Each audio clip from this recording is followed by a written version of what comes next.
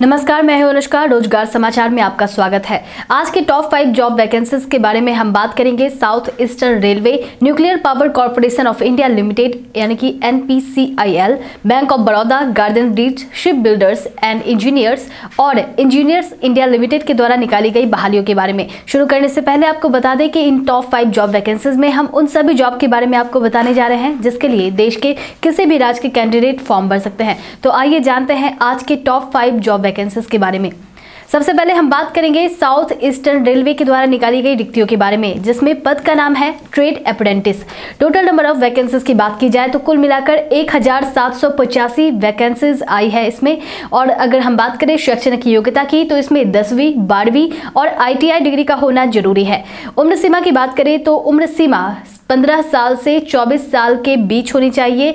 एक जनवरी 2022 के अनुसार। वहीं हम बात करें आवेदन फ़ी की तो S C S T P W D और किसी भी, भी कैटेगरी की महिलाओं को कोई भी तरह की फ़ी नहीं देनी पड़ेगी लेकिन अदर्स के लिए यह चार्ज एक सौ रुपये रखी गई है। वहीं हम बात करें अंतिम तारीख की तो फॉर्म भरने की अंतिम तारीख 14 दिसंबर 2021 है। आधिकारिक वेबसाइट की बात करें तो यह S E R dot Indian railways dot G O V dot in है जिस पर जाकर आप आवेदन डाल सकते हैं।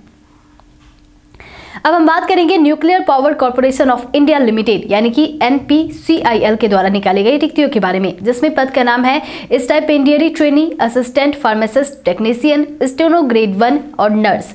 Total number of vacancies की बात की जाए तो कुल मिलाकर बहत्तर पदों पर बहाली निकाली गई है। शैक्षणिक की योग्यता की बात की जाए तो अलग अलग पोस्ट के लिए अलग अलग क्वालिफिकेशन मांगे गए हैं, जिसमें से मैट्रिक, इंटर, आईटीआई की डिग्री होना, bachelor, engineering diploma, nursing diploma और कुछ टाइपिंग स्किल्स भी मांगी गई है।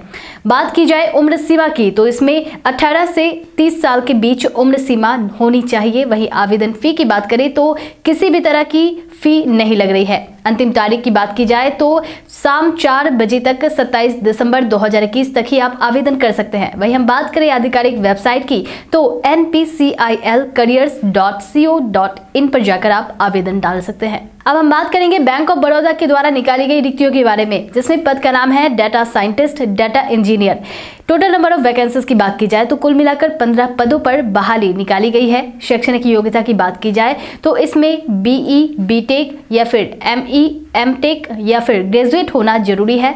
साथ ही बात करें उम्र सीमा की तो यह 25 से 40 साल के बीच अलग अलग पदों के लिए निर्धारित की गई है। वहीं आपको बता दें कि रूल के अनुसार कुछ कैटेगरीज को एज रिलैक्सेशन यानी कि उम्र सीमा में छूट भी मिल सकती है। वहीं बात की जाए आवेदन फ़ी की तो एस सी और पीडब्ल्यूडी के लिए सौ रुपए आवेदन शुल्क तय किए गए हैं। वहीं बात करें जनरल, ओबीसी और ईडब्ल्यूएस के द्वारा दी जाने वाली फ़ी के बारे में तो उन्हें छह सौ आवेदन फ़ी लगने वाले हैं। बात करें अंतिम तारीख की तो छह दिसंबर दो हज़ार इक्कीस, लास्ट डेट है आवेदन आवेदन करने के लिए बात की जाए आधिकारिक वेबसाइट की तो आप www.bankofbaroda.in पर जाकर आवेदन कर सकते हैं। अब हम बात करेंगे Garden Reach Ship Builders and Engineers के द्वारा निकाली गई बहालियों के बारे में, जिसमें पद का नाम है supervisor design assistant total number of vacancies की बात की जाए तो कुल मिलाकर पंद्रह पदों पर बहाली मांगी गई है। बात करें शैक्षणिक योग्यता की तो उम्मीदवार का C M A C A M com graduate PG diploma diploma BBE BBM इन सब में से कोई एक होना ज़रूरी है। बात की जाए उम्र सीमा की तो उम्र सीमा एक नवंबर 2021 के अनुसार 28 साल पूरी होनी चाहिए। बात करें आवेदन फ़ी की तो जनरल और ओबीसी कैटेगरी के उम्मीदवार को चार रुपए आवेदन करने को लेकर लग रहे हैं, लेकिन एस सी और पीडब्ल्यू उम्मीदवार को किसी तरह की फ़ी नहीं देनी पड़ेगी।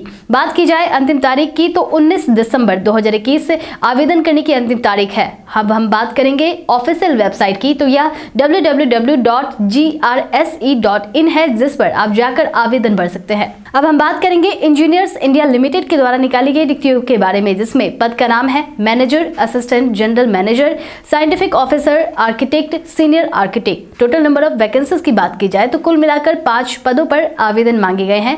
शैक्षणिक योग्यता की बात की जाए तो M E M tech BE B tech M S C B arch और पोस्ट ग्रेजुएट वाले आवेदन डाल सकते हैं। बात करें उम्र सीमा की तो मैनेजर के लिए उम्र सीमा छत्तीस साल है असिस्टेंट जनरल मैनेजर के लिए चौवालीस साल उम्र सीमा बताया है।